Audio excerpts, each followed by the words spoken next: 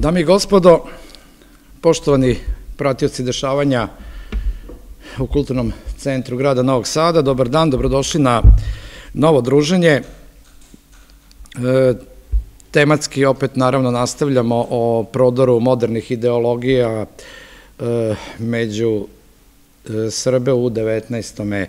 veku.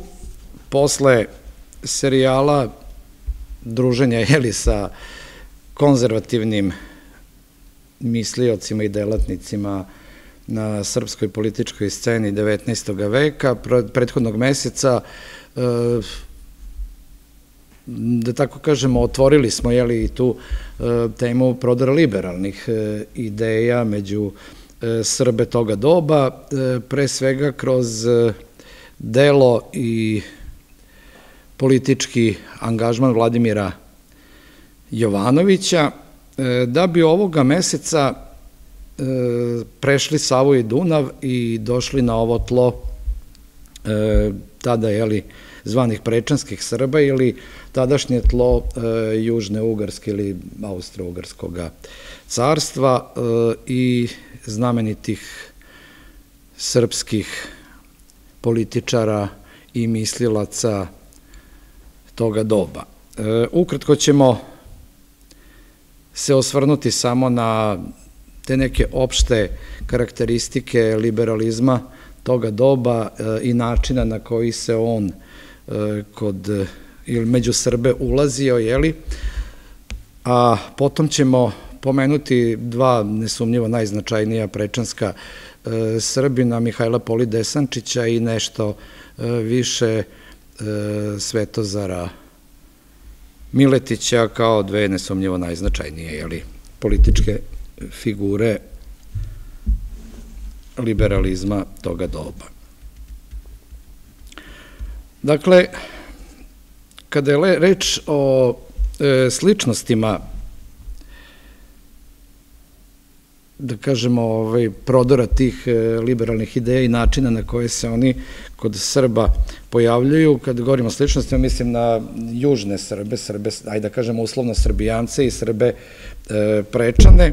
Ono što e, je zajedničko i jednima i drugima, a to je da su e, oni živeli u sklopu velikih tada e, susednih carstava, Osmanskog i Austro-Ugarskog e, i Naravno da je zajedničko to da je postojala jedna e, neskrivena i nasušna potreba i želja e, za nekom vrstom nacionalne emancipacije, nacionalnog oslobođenja i sa krajnjim ciljem jeli, političkog ujedinjenja svih Srba ukoliko je to moguće i u obliku u kome je to moguće.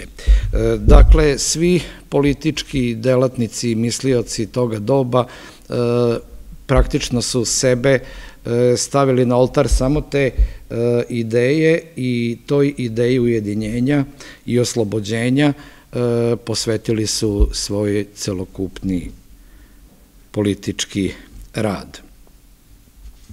E sad, razlike koje su postojale među njima, to su nesumnjivo kulturološke razlike, jer Srbi južno od Save i Dunava nekako ove, više su E, formirani i e, negovani na tom političkom e, nasledđu orijenta i osmanske političke kulture koja je bila ekstremno da kažemo ono autoritarna, čak je to blago i reći jer nesumnjivo da se Osmanskim carstvom manje više upravljalo samo iz jednog centra preko namesnika i putem samovolje e, vladaoca. Dok e, prečanski Srbi u Austro-Ugarskoj su e, ipak imali neku vrstu sreće da svoju političku kulturu i grade, stvaraju i usavršavaju opet na nekim, da kažemo, izvornijim evropskim načelima, pogotovo E, modernim načelima toga doba koja su e, bila čedo ili pre svega francuske revolucije, a potom i velikih revolucionarnih dešavanja 848. E, širom širom Evrope.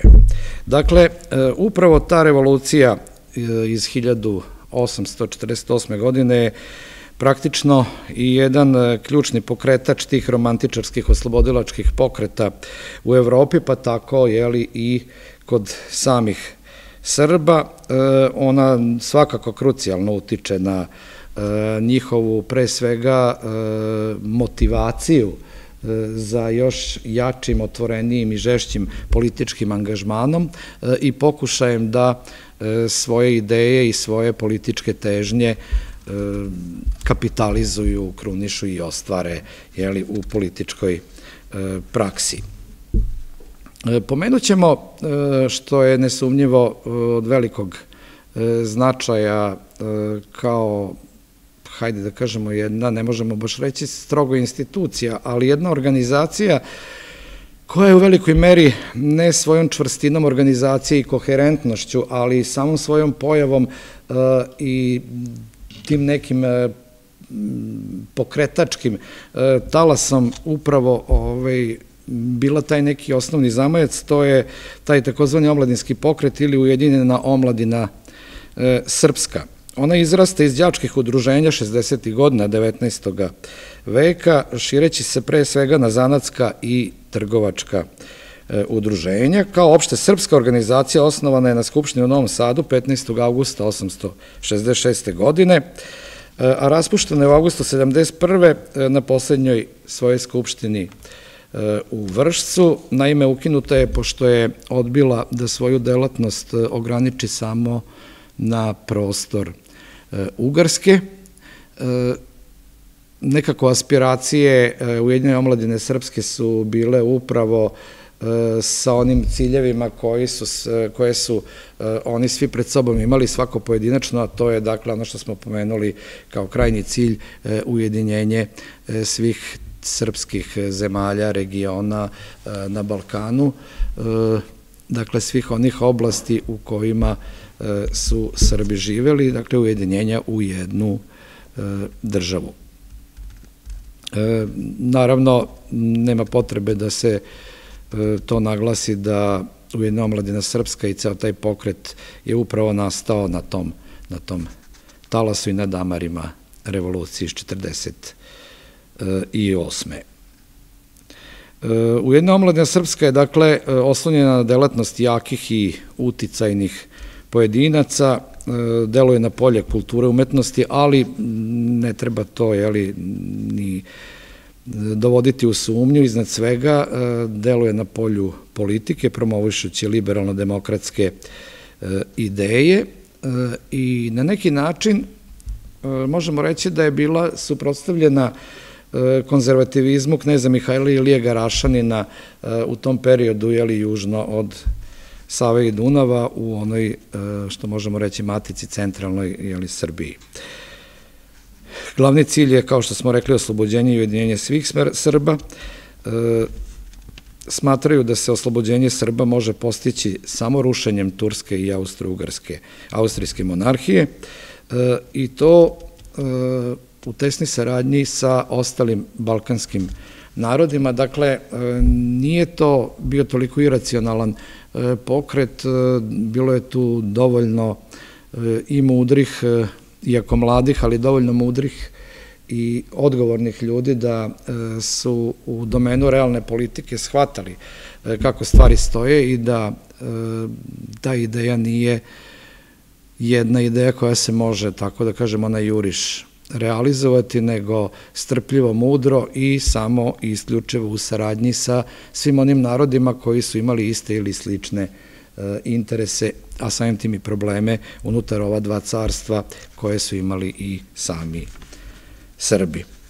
E, kao što rekoh, pomenut ćemo e, prvo Mihajla Polit Desančića, jednog od najznačajnijih srpskih političara toga doba. On je u Svetozara Miletića nesumnjivo najmarkantnija politička ličnost u Vojvodini u drugoj polovini 19. veka. Rođen je u Banatu 833. godine i umro je u Novom Sadu 1920. Dakle, Mihajlo Poli Desančić je imao, da kažemo, i tu e, sreću i tu privilegiju da lično doživi e, realizaciju, na neki način realizaciju onih ideja za koje se borio kroz stvaranje kraljevine Srba, Hrvata i Slovenaca. E, Polit je završio pravo u Beču, državne nauke u Parizu, a u Beču je doktorirao 861. godine e, i odmah posle doktorata došao je za poslanika u Hrvatski sabor. U Ugarskom parlamentu sedao je Poli Desančić gotovo neprekidno od 1873. do 1913. godine i bio je čuven u čitavoj Ugarskoj, ne samo kao politički pisac, već i kao vrsni e, govornik, bio je zaista zapažen i poznat po svojim govorima i nastupima u parlamentu. E, bio je svestran široke kulture, erudita, e, važio je za veoma utemeljenog i odmerenog čoveka, baveći se naučno, jeli, uglavnom problemima srednjeg podunavlja i Balkana, Polit je i ostavio jednu pozamašnu i veliki, veliku bibliografiju, dakle veliki broj rasprava, e, radova, tekstova, stenogramskih beleških njegovih govora u parlamentu.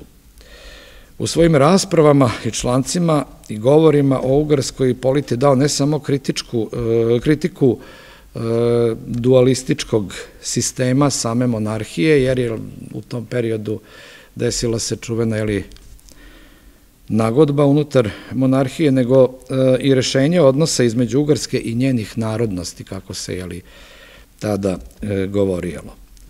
On je, može se reći, kao zaista redko ko poznavao Ugarsku, poznavao je njenu istoriju, ali je poznavao istoriju njenih naroda koje su joj činile e, i istoriju odnosa između same Ugarske i e, svih tih narodnosti ili naroda koje su je uz Mađare sačinjavali. E, zato je kao rešenje jedino mogućnost za miran suživot nudio neku vrstu švajcarskog modela, dakle podela Ugarske na županije, analogno švajcarskim jeli, kantonima i sa jakom unutrašnjom autonomijom svake od narodnosti. E, on je to figurativno voleo da e, nazove istočnom švajcarskom, jeli, taj model koji je zagovarao. Naravno da ni Poli Desančić nije bio imun kao ni većina političkih pisaca i aktivista toga doba, a da se ne osvrne na problematiku takozvanog istočnog pitanja, jer sve to e, što se mislilo i ka čemu se težilo e, u praktičkoj politici bilo je u jednom širem kontekstu upravo u sastavnom, e, u sklopu tog nekog konteksta rešavanja takozvanog istočnog pitanja kao jednog od ključnih političkih pitanja tadašnje Evrope. Dakle, u sklopu opšte emancipacije, kada su Srbi u pitanju, Polit kao deo rešenja istočnog pitanja vidi e, neku vrstu bližeg povezivanja e, Srbije i Bugarske, e, jer je u tom periodu nekako grčki program oslobođenja bio vezan više u pravcu neke vrste obnove same Vizantije, dok se to nekako Srbima baš i nije ovaj, na određeni način e, sviđalo, čak ni onim južno od Savedi i Dunava, a pogotovo Srbima e, prečanima, tako da e, je ta ideja e, zbližavanja i povezivanja sa Bugarskom i stvaranja jedne, e, da kažemo, horizontalne osovine na Balkanu e, bila dominantna i nju je zagovarao i sam Polit njegove ideje o istočnom pitanju, kao i, da kažemo, veliki deo teorijskih postavki, skoro u potpunosti je preuzimao i sam Svetozar Miletić.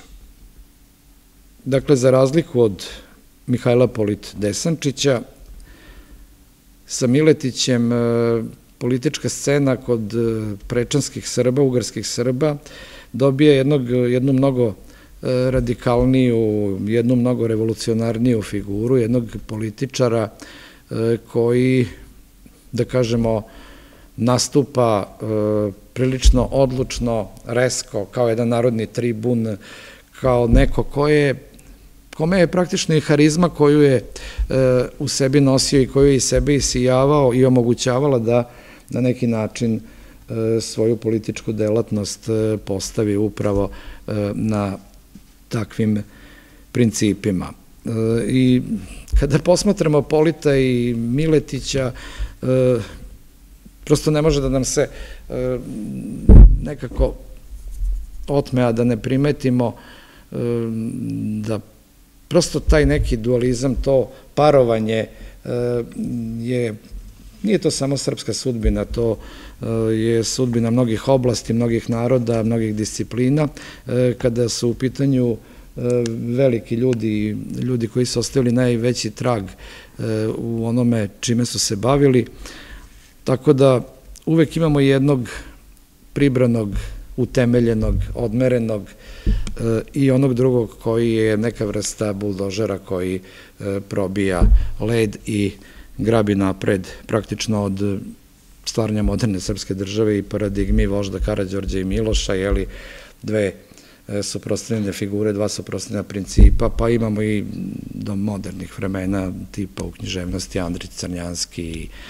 tako dalje, ali uvek, e, uvek imamo tu e, tu neku ovaj, taj neki dualizam koji u stvari pravi tu neku vrstu ravnoteže koja e, omogućava da celokupan taj proces i te ideje konkretno u ovom slučaju e, funkcionišu na jedan e, dobar i učinkovit način i da iza sebe ipak ostavljaju neke političke plodove i stvaraju političke rezultate na terenu.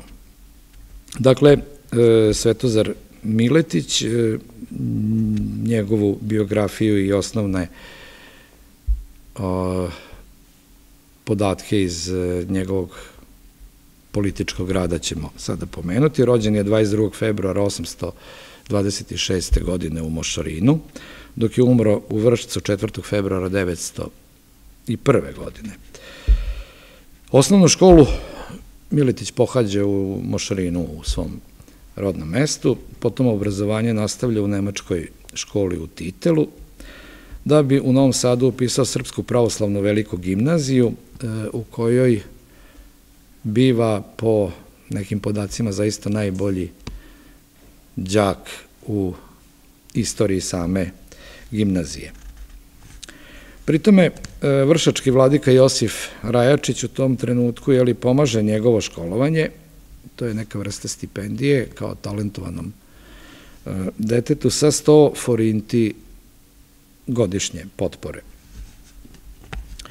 Po položenoj maturi Miletić, e, Miletić se upisuje na evangelistički licej e, u Požanu, Bratislavi, ali, gde se uključuje u rad srpske đačke družine, koje u tom trenutku broji 40 članova oni počinju tada sa izdavanjem, tamo sa izdavanjem časopisa Srpski Soko, gde Miletić praktično piše i objavljuje svoje prve tekstove i radove iz oblasti e, literature, ali pre svega politike.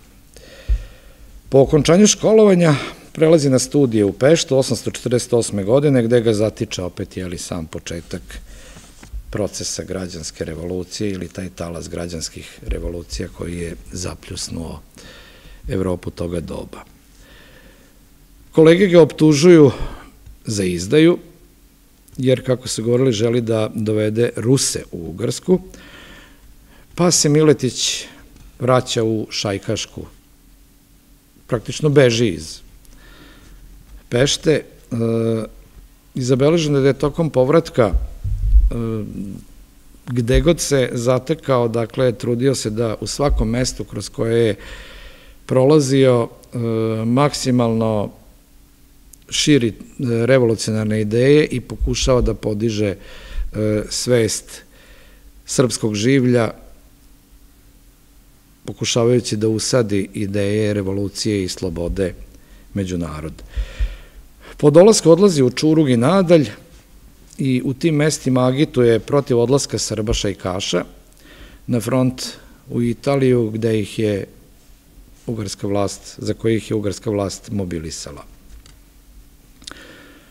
Potom preko Sremskih Karlovca, Karlovaca odlazi u Beograd, e, gde pokušava da ubedi srpsku vladu da uđe u rat sa Turskom, kako bi se, jeli, revolucija proširila na svim frontovima i kako bi na neki način, tu, tu stvari vidimo taj njegov revolucionarni zanos i njegovu e, nezrelost, jer te njegove ideje prosto nisu naišle na, na, na nisu dobro dočekane u samom e, Beogradu i tu je doživeo neuspeh, tako da se Svetozar Miletić potome vraća u Sremske Karlovce, potom u Karlovcima prisustuje Majskoj skupštini na kojoj je proglašena Srpska Vojvodina, izabran srpski vojvoda Stevan Šopljikac i izvikan patrijarh, postaje član glavnog odbora, da bi 849. nastavio studije, ali ovoga puta u Beču, i to uz veliku materijalnu pomoć Mihajla Obrenovića. Miletić studija okončava 854. i postaje doktor pravnih nauka, potom se vraća u Bačku, polaže advokatski ispit 856. godine u Novom Sadu i počinje da se bavi advokaturom. Dakle, to je jedan period kada mm, nije, ovaj, ne možemo reći da je preterano intenzivno učestvovao u političkim zbivanjima, prosto povukao se u neku vrstu mirnog života i rada na sebi, jer umeđu vremenu i zasniva porodicu, ali njegov temperament mu očigledno nije dao mira i on sa advokaturom završava 1866. godine. I potom se naravno vraća u politički život, a vraća se serijom tekstova u časopisu Srpski dnevnik, gde se bavi situacijom u Evropi, naročito analizira jeli, e, situaciju na samome Balkanu. Militic se zalaže za ostvarenje Srpske Vojvodine, međutim, on se zalaže za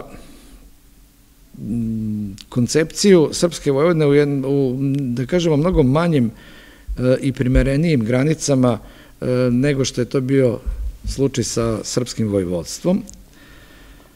Pritome smatra da do tog cilja treba doći e, ne preko Beča, dakle ne pregovorima sa samim centrom, sa samim carem, nego da Srpsku vojnu Srbi treba da grade u direktnom dogovoru sa samim Mađarima, dakle sa Peštom i Ugarskom.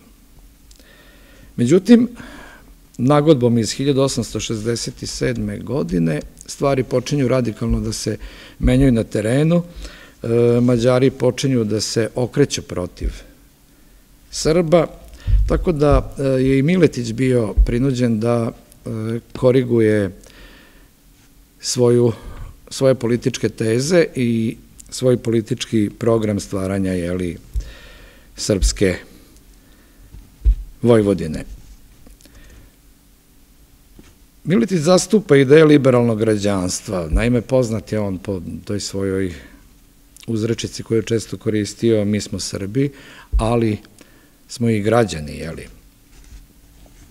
Tako da liberaške e, ideje su na neki način bile sastavni deo e, njegovog nacionalnog programa i bile su utkane u sam njegov nacionalni program koji je ideje koje je zastupao, dakle nešto slično kao kod e, Vladimira Jovanovića o kome smo e, govorili prethodnog e, meseca,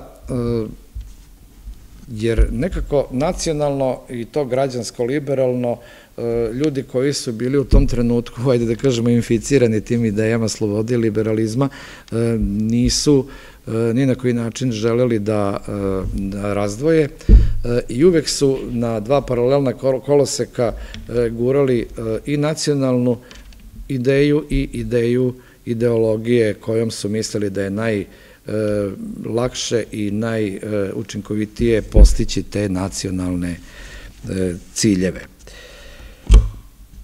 Kada je reč o političkom angažmanu Svetozara Miletića, pomenut ćemo da je 861. godine postao gradonačelnik Novoga Sada, saradnici su mu u magistratu bili Aleksandar Sandić, Čekajova Zmaj, Jaša Ignjatović, međutim, nije to sve dugo trajalo, On je proglasio za svog kratkog mandata srpski jezik kao zvaničan jezik, e, ukinuo je Nemačku realnu gimnaziju, zalagao se za izgradnju nove e, gradske kuće, pokrenuo je niz e, drugih akcija, međutim nije, nije se dugo zadržao na toj poziciji.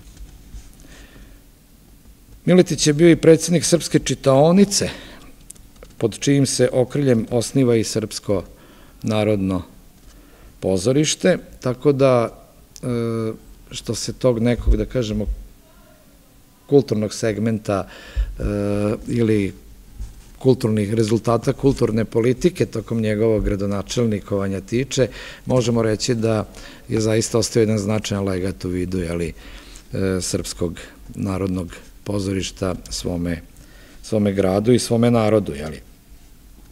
867. godine je Miletić po drugi put biran za gradonačelnika, tu su mu najbliže saradnici bili Laza Kostić i Kosta Trivković, međutim ni tu, ni tog puta nije se preterano dugo zadržao na samoj e, funkciji. Od 1861. je i počasni član Matice Srpske. 864. je veoma angažovan na preseljenju Matice iz Pešte e, u Novi Sad, da bi 1866. godine pokrenuo list Zastavu. To je časopis koji će nesumnjivo ostaviti ogroman, ogroman e, trag među Srbima u samoj Ugarskoj i ne samo u Ugarskoj, e, dakle časopis koji je oko sebe okupljao, okupljao zaista onaj e, cvet srpske inteligencije e, toga, toga doba.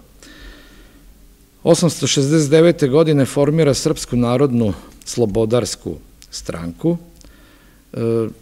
To je stranka koja je bila, da kažemo, prvi organizovani politički pokret kod Srba u Habsburškoj monarhiji i zanimljivo je da ono što mi e, danas nazivamo jeli, e, liberalizmom kao ideologijom ili liberalizmom kao idejom e, slobode, tada se među Srbima za taj pojam koristio pojam slobodoumnost, što ne samo da ne narušava pojam jeli, i ovaj, značenje pojma liberalizma, koliko ga u, sklopu te e, bogatstva srpskog jezika još oplemenjuje i još mu daje jednu e, dodatnu, dodatnu e, dimenziju. Jeli. Miletić je bio poslanik u Ugarskom i Hrvatskom saboru, njegovo poslanikovanje i zastupanje raznih regiona najviše e, i same Bačke, e, je bilo zaista e, dugotrajno i često. Međutim, Miletić je zbog svog rada često proganjan i hapšen.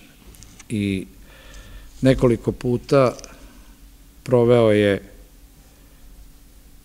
po nekoliko godina u zatvorima, robijajući za, zbog svojih ideja e, i taj period e, boravka u zatvorima u mnogome je uticao na njegovo prvo telesno, a potom i na duševno zdravlje.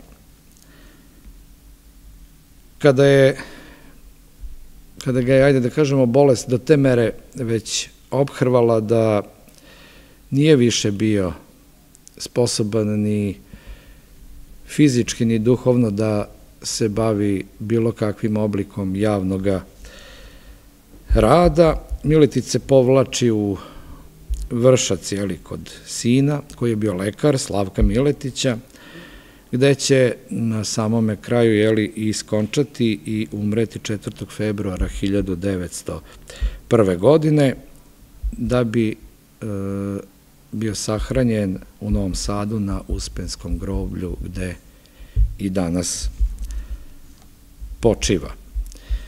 E sad, šta je značajno i zanimljivo reći e, za